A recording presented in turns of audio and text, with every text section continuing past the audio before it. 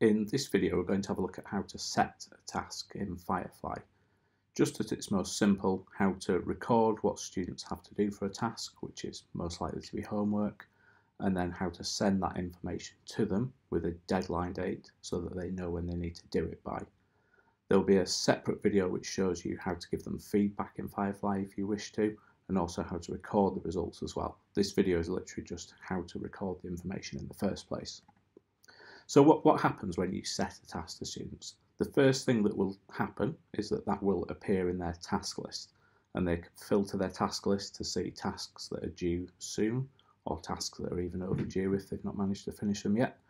It will also appear to parents in the Firefly Parents app if they're using the app on the phone or on the website if they're just looking on the website. It also creates an entry in your mark book on Firefly if you do give feedback to students, that's where that will appear. And also if you give them a grade for that task in Firefly, that will appear in the mark book as well. So to actually set a task, we're going to go to Firefly. I'm already on my tasks page, which I've got to here by clicking on this icon up at the top. And we can see that I've got some existing tasks that have been set. I'm going to go to this option here at the top of the page, set a new task. And I'm going to click on that and it will bring me up this screen where I can put all of the details. The first thing I need to do is choose who to set it to. Now you can probably choose from a list down here and you can choose an existing group. I'm going to set it to a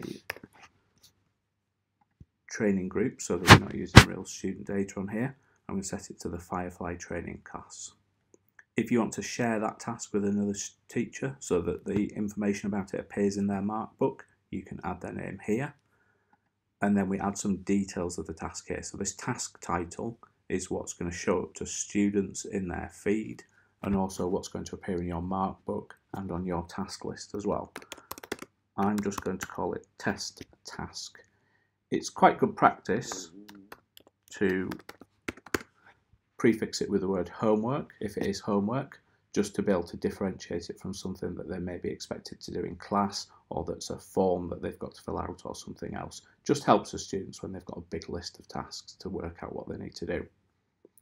The start date by default will be today's date.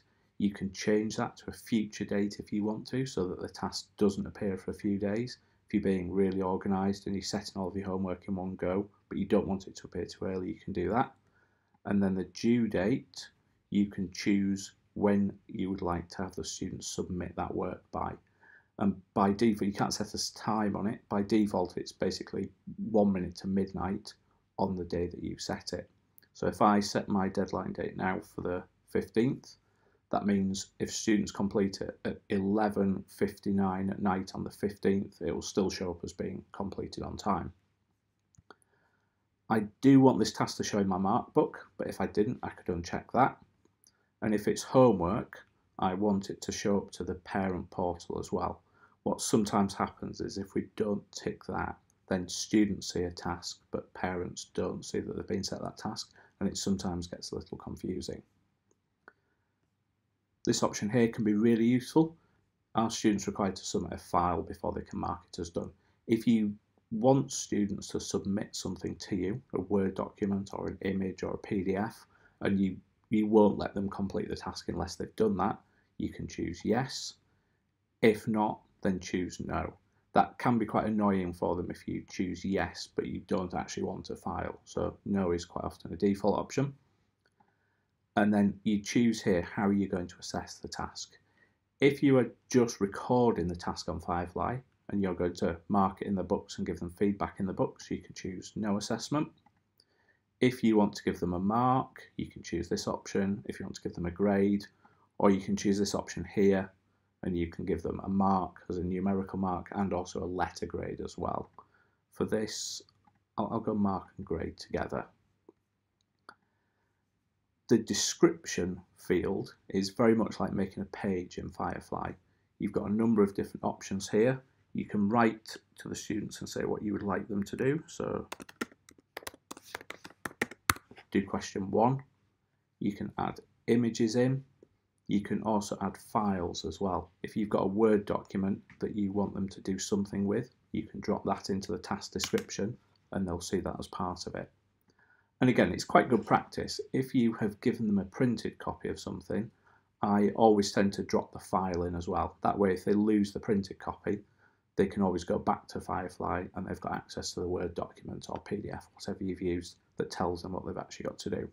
We've got the same formatting options as you would do with a page, so you can make things into headings and you can highlight them and so on. You can also attach files separately to the task. Once you've filled in all of those fields, down at the bottom of the page you'll see a number of options. The obvious one is set task, which immediately sets the task to the students. The other one that's sometimes useful is to save that task as a draft. You might want to write the task out but not set it to students just yet, in which case you can save it as draft and come back and set it to students later on when you want them to actually do it. I'm going to set this task and then as that page loads it will take me to this option here. I'll go back and I'll view the task and I can see the information about it. If I change my mind and I want to do something with it, I can click on edit and go back and change it.